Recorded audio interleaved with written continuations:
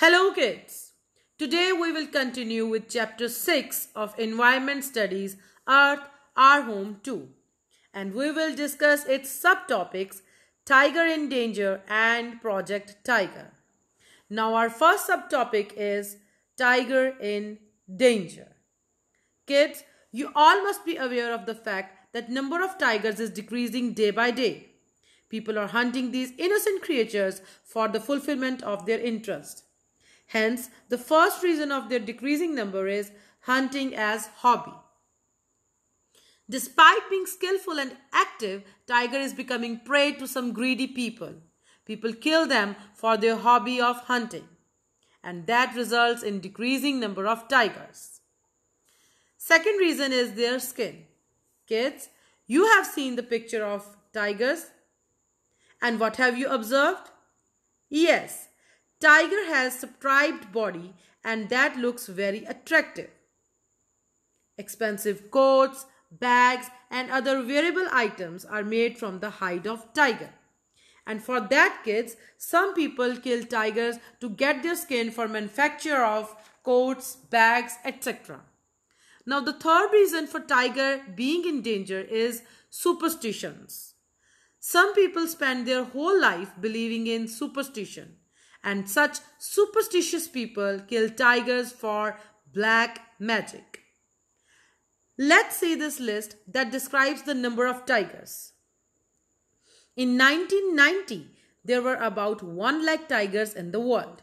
Today, the number of tigers in the world is reduced to 3,890.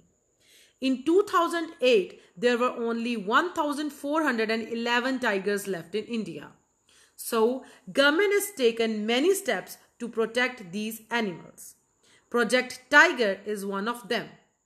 So, let's discuss our second subtopic, Project Tiger. On April 1st, 1973, Project Tiger was started. The main aim of this project was to mark the safety area and to ban the hunting of tigers.